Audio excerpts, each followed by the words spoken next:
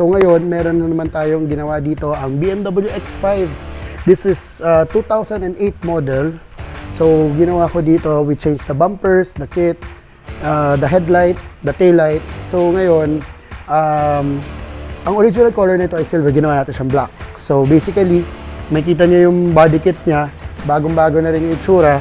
Tapos yung kanyang headlight, in order ko yan sa abroad, that's a BMW LED na headlight.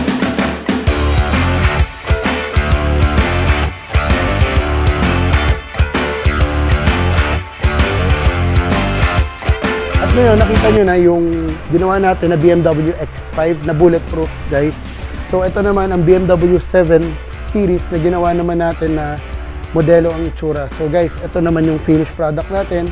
So, from bumper, headlight, uh, bumper rear, yan, ginawa rin natin yan. So, check it out, guys.